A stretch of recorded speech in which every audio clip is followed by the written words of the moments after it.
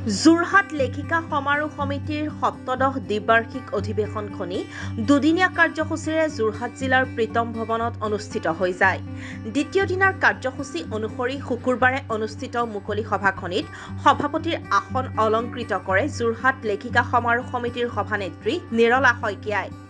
সম্পাদিকা সন্ধ্যাৰাণী বেজবৰুৱাই আগধৰা অনুষ্ঠানটো বন্তি প্ৰজ্বলনেৰে শুভ উদ্বোধন কৰে সদৌ অসম লেখিকা সমাৰোহ সমিতিৰ উপদেষ্টা বিনীতা দত্তই।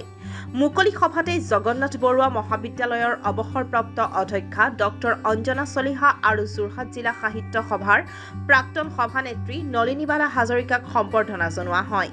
আটক ধুনীয়াকৈ বৰ্ধিত কলেবৰত ডক্টৰ মধুস্মিতা বৰুৱা চাংকাকটি সম্পাদিত যোৰহাট জিলা লেখিকা সমাৰোহ সমিতিৰ মুখপত্ৰ মণিহাৰ উন্মোচন কৰে সদৌ অসম লেখিকা সমাৰোহ সমিতিৰ উপদেষ্টা কবিতা ৰাজগুৰুৱে।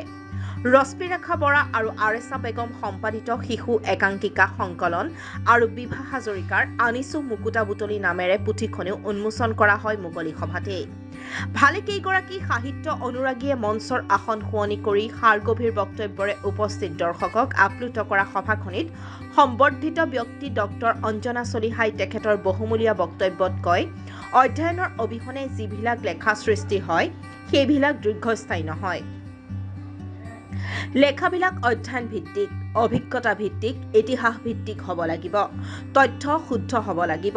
গোটেই কথাখিনিৰ কাৰণে অধ্যয়নৰ প্ৰয়োজন। এক অধ্যয়নপ্ৰেমী চক্ৰ আমাৰ লেখিকাসকলৰ মাজৰ পৰাই আমি গঢ়ি তুলিব পাৰিলে বৰ ডাঙৰ কাম কৰা হ'ব।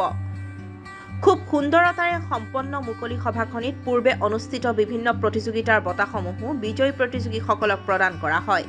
কোৰাচেৰে আৰম্ভ মুকলি সভা লেখিকা সমাৰোহৰ গীত পৰিৱেশন কৰাৰ লগতে জাতীয় সংগীতেৰে অধিৱেশনৰ সফল পৰিসমাপ্তি ঘটে।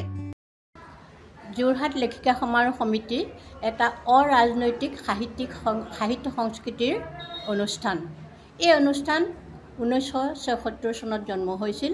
আমাৰ যোৰহাটৰ কেইবাগৰাকীও বিশিষ্ট মহিলাৰ উদ্যোগত আমাৰ এই অনুষ্ঠানটোৰ জন্ম হৈছিল।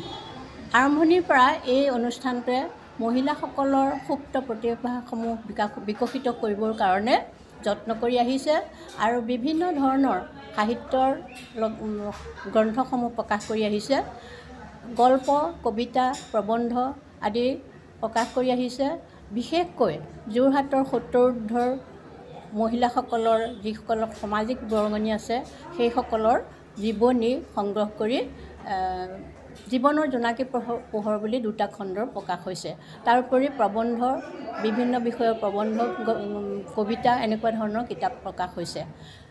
ইয়াৰ উপৰিও নতুন প্ৰজন্মক আগবঢ়াই নিবৰ কাৰণে এই অনুষ্ঠানে যথেষ্ট যত্ন কৰিছে আৰু তেওঁলোকে যাতে বৰ্তমান সমাজৰ প্ৰত্যাহ্বানসমূহ প্ৰত্যাখ্যান কৰিব পাৰে নেওচ দিব পাৰে তাৰ কাৰণেও যোৰহাট লেখিকা সমাৰোহ সমিতিয়ে যত্ন কৰি আহিছে। এই অনুষ্ঠানটোৱে এটা